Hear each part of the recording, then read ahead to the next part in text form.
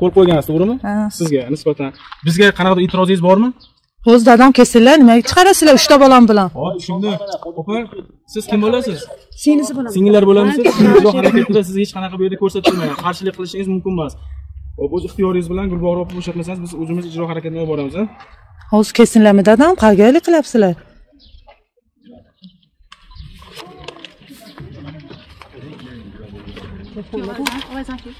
o'zinglar voy befoyda keling qilyapti mana uylari qurib tashlaganman beshtami oltita. Hovli yarimdan devor olaman. Yigirma sakkiz sotix yigirma sakkiz sotix amakim hozir uchta farzandim bilan chiqarib tashlashyapti. Mana. Bu yigirma sakkiz sotix yetti sotixiga o'zim devorlari olganman uylari qurganman hujjatlarim bor hamakim karimov jahongir ayollari nodira boboxonova oliy sudlar kengashida ishlaydi. Hamma sudlarga bersak bekor qilib tashlayapti. Mana hozir umid keldi bu joydan chiqarishga. Mana shuncha erkak militsiya xodimlari hammasi kelishgan. Temiz. Yordam berishingizni so'rayman. Kadriyon Hüseyin. Ot bile seni halk söyle bunlar da mı? Bazı konuları halk. Bu sefer cevap konuşamaz. Hadi bize, bize ölüm görüşünü koklarsınlar mı? Zapskın. Zapskınlık teşebbü olmuyor. O'lim bo'lishini xohlaysizlarmi zapis qil zapis qilib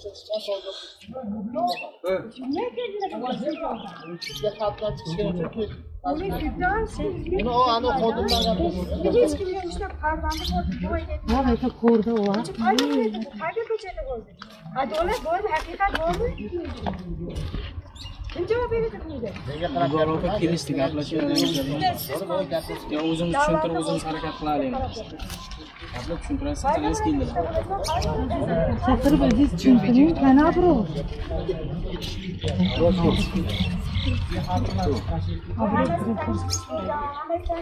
opa iltimos. man majburiy ijrodan biriktirilgan xodimman siz mas'ul shaxsman siz kim bo'lasiz man onasiman onalar bo'lasizmi biz ijro hujjati qo'limizda ijro hujjati bor karimov gulbog'or opani shu bir yuz oltmish beshinchi xonadondan majburiy tartib ko'chirilsin agar shu xonadonga majburiy tartib kiritilsa biz kiritib qo'yamiz. Biz biz qonun bajaruvchi biz ijro xodimimiz qayga ko'chada bo'ldi ayting yo endi unisini bizga ko'chirishni boshqa ko'rsatilmagan ijro hujjati. Faqat ikkita uch nafar farzandi bilan tegishli mulklar ko'rsatish kerak endi unisini endi sizni uyingiz oilangiz bor uyingiz bormisiz siz kelinni uyga boradimi? Ikkita kelinni uyga yo'q siz bu yerda ishlang sizni ham chiqadi. Bu yerda gulbog'or opani chiqarib tashlash ko'rsatilgan gulbog'or opani chiqarib tashlayman agar sizlar qanaqadir uyini uyini bo'lsa olib ma'lum marhamat hozir tizim bor. sizlarni bizni vazifamiz opangiz onasi bo'lsangiz odamlar ikki soatlikdan turibdi. Ana ag'dab manularni ko'rasiz. Hammasi jamolxon aka tushun assalomu alaykum. Man karimova bahor jamolxonova bir ming to'qqiz yuz sakson oltinchi yilda tug'ilganman. Namangan viloyat kosonsoy tumanida maxduma azam mahallasida yashayman. bir ming to'qqiz yuz sakson to'qqizinchi yil bobom karimov e, samaraxon karimov va dadam karimov jamolxonlarga uy berishgan. Uy qabul qilgani amakim keldilar? Mana o'tiribdilar. Mana uchta farzandim bilan ajrashganman. Mana shu amakim mana shu uyni tortib olyaptilar mana shu mana? Bir şey yok. Ganemize mi? mana shuncha erkak keldi Nimaga kelyapti? Uchta farzandim bor qayerga chiqarib tashlayapsiz amaki rahmingiz kelmaydimi manga mana militsiyaga telefon qilyapti militsiyaga telefon qilyaptilar o'lla oling militsiyaga mana mana shu bola bilan keldi mana undan so'rashni istamayapti Nima o'g'ri mana mana shu bola. Mana shu bola mana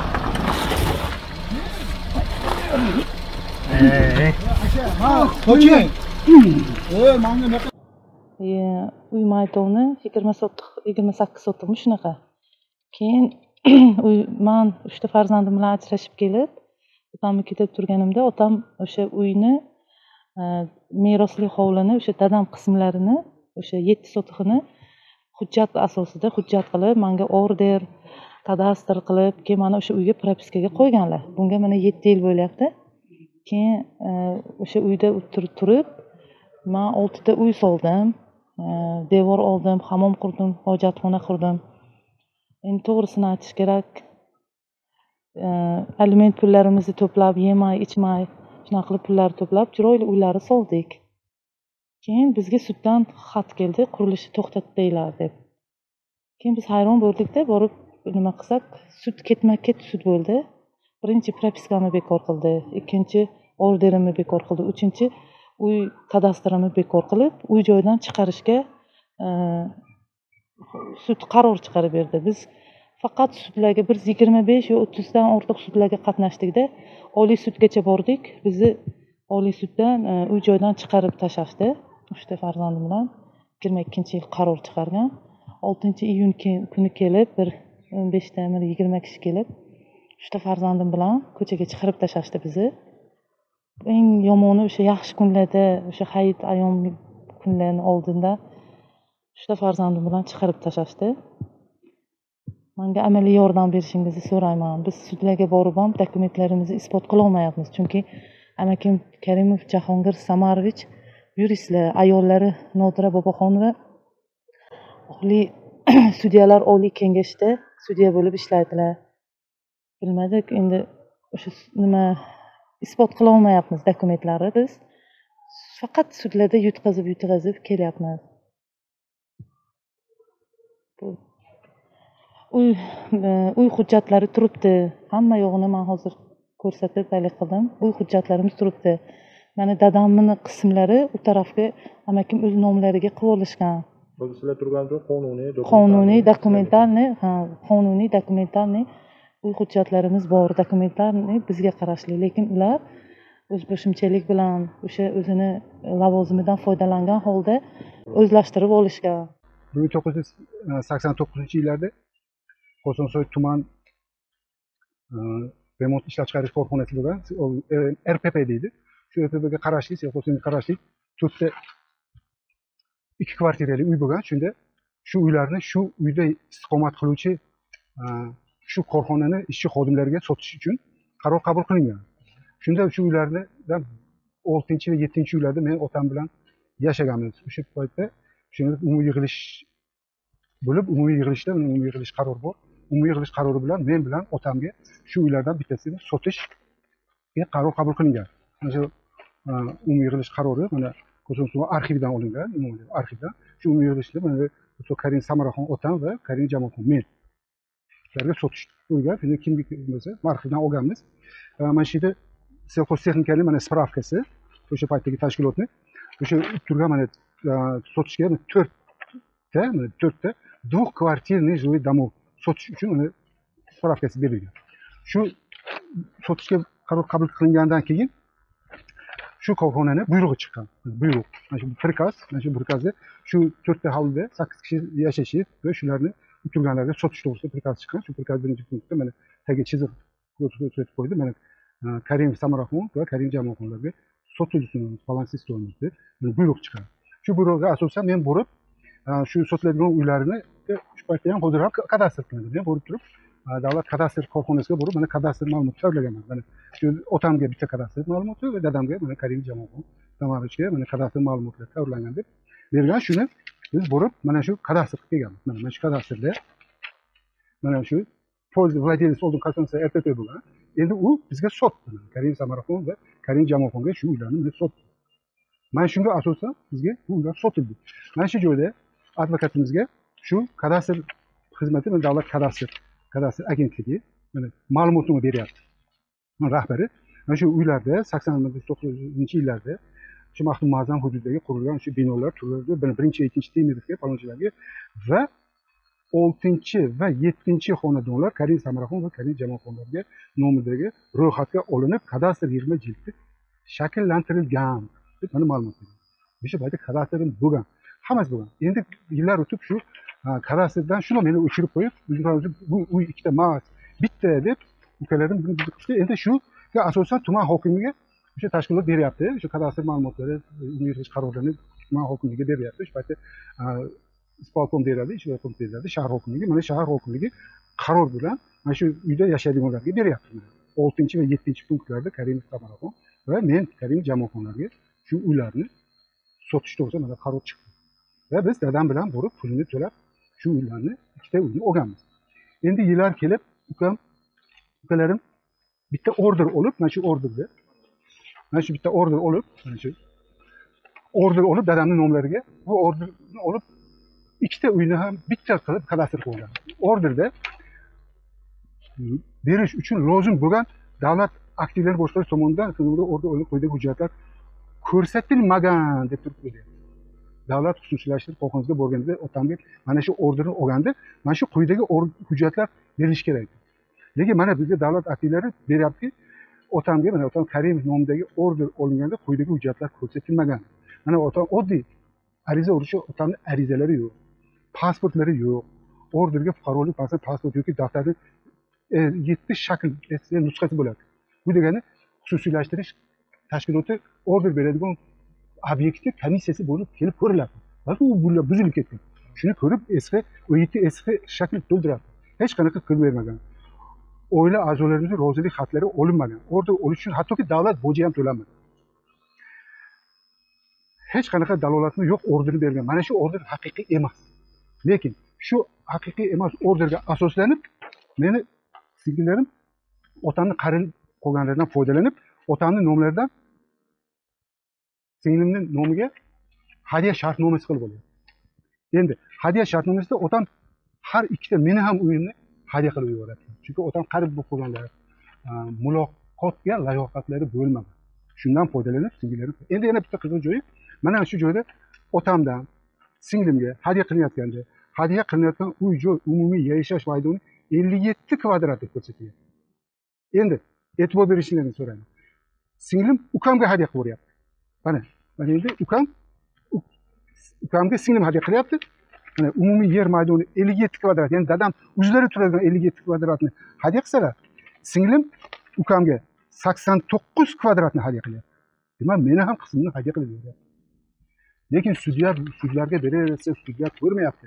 Chunki biz isbotlolmasakda meni ukam mana bu e, g'ayriqonuniy xatti harakatlar qilgan paytda qilayotganda sudlarga murojaat qilsa biz sudlarga yutqazaveryapmiz. Sababi shundoq deb o'ylayman. Ukamni xotini turmush o'rtog'i boboxon va nodiraxon alaxon qizi hozirgi kunda beshinchi yil o'zbekiston respublikasi sudyalar oliy kengashi sudyasi bo'lib ishlaydi men uni telefon qilib qo'yayotgani sudyalarga boshim o'tkazayotgani unga o'zini xizmat mansabidan lavozimdan foydalanayotganini isbotlay olmayman. Lekin nima uchun sudyalar oddiysini ko'rmaydi? Nima uchun oddiy otam sakson otam ellik yetti kvadrat turar joyni hadya qilsalardi? Singlim g'ayriqonuniy ravishda mana shu ellik yettini sakson to'qqiz kvadratni hadya ya'ni meni qismini hadya qilib beradi. Lekin sudyalar buni hech qachon inobatga olishmaydi. Kadastr bo'lgan paytda ham meni nomimga bo'lgan kadastrda hech qachon otamni familiyasiga bitta qilib kadastr qilgan ikkita hovliga berilgan ikkita odamni familiyasi turgan kadastrga nima uchun bitta odam kadastr men davlat xususiylashtirish korxonasiga murojaat qilganimda davlat xususiylashtirish korxonasi agar bizda qonun bo'yicha agar tuman hokimi qarorida bo'lsangiz va o'sha pasportni davlat bojlarini va farzandlaringizni hammasini rozilik xatlarini boshqa kerakli hujjatlarni tayyorlasangiz o'n yettita shakl esga to'ldirsangiz sizga ham order berish e, mumkin dedi. Men talab qilingan hujjatlarni taqdim qildim va menga xususiylashtirish davlat monopoliyadan chiqarish va xususiylashtirish korxonasi menga mulk huquqini beruvchi davlat orderi berdi. Mana. O'n to'rtinchi yil. Nomer aa olti yuz o'ttiz qirq to'rt sakson sakkiz mulk huquqini beruvchi davlat orderi berdi men mana shu orderga asoslanib kosonsoy tuman davlat kadastrida mana shu kadastr hujjatlarini tayyorladim davlat kadastrini tayyorlab uyni ikki qismga bo'lib o'sha meni qismga mana shundoq qilib kadastr qildim endi mana shu kadastr va mana shu orderga asoslanib men shu o'zimni uyimga qonuniy ravishda turar joy qurdim va bu yerga men yaqin uch yuz milliondan baland to'rt yuz millionga yaqin bino qurdim. Daraxtlar o'tqazdim dedi ancha bunyodkorlik ishlarini qildim betonlarni yangilab ishlarni qildim ustalarni boqish masala qildim. Lekin shunga qaramasdan bu uyim bitmasdan turib ukam yana turmush o'rtog'ini deb chiqarsa meni sudga berib bu yerdan davlat bergan qonuniy mulk huquqini beruvchi davlat orderini yana bekor qildirdi endi bugungi kunga kelib meni qurgan binolarim meni mana shu davlat mulkiga tasdiqlovchi orderga asosan va kadastrga asosan qurgan binolarimni mablag'lari nima bo'ladi desam sudyalar va sud xodimlari biz bilmaymiz. Endi ularni bilmaymiz endi sizni bilmaslik bo'lyapti advokatlarga borib murojaat qilsam advokatlar biz yutolmaymiz. Endi to'g'ri tushuning. Endi bizni ham reytingimiz bor deyishyapti. Chunki ular to'g'ridan to'g'ri bizga davleniye bo'ladi ukangizni xotini tomonidan sudyalar uni kengashdan bizga davleniye bo'ladi deb aytolmayapti. Men uni nodira boboxonovani sudyalarga davleniya qilyapti deb aytolmayman. Chunki ertaga menga tuhmat qilyapsan deb meni jinoiy javobgarlikka u qayerdan telefon qilib qo'yganini man bilmayman.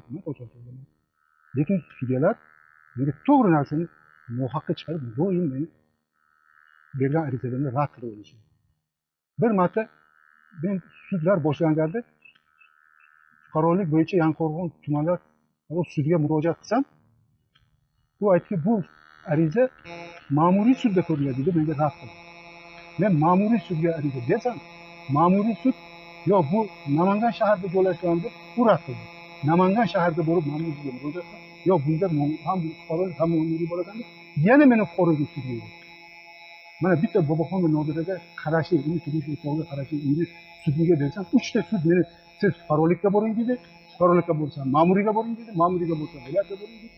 Uchta sud aylantirib hech qaysi sudlarni ko'rmadim men sudlarni sudmasiz yurib men besh yildan beri salomatligimni yo'qotdim yugur yugur tepa tepa yugur lekin men ularni sudyalar tanish qilyapti. Bu o'n oltinchi yilda bu maniki ikkita uyni bitta qilib ukamni nomiga pasport qilib uylarni pasport qilib o'sha ukamni xotini nodiraxon boboxon jiyani boboxonov alisher davlat kadastr rahbari pasport qilib berdi.